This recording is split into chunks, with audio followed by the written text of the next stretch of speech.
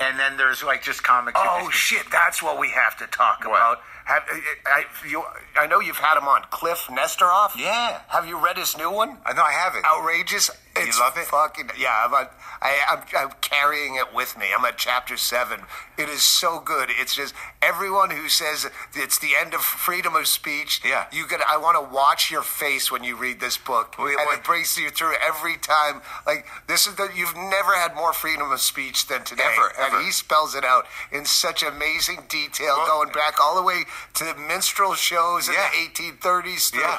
vaudeville, and you can't like you're gonna get arrested for doing the jitterbug. Yeah. and fucking Yeah. and it, it's so brilliant, and it's just uh, such a shut the fuck up to everybody who's Yeah. pretending like your freedom of speech is. to, to me, that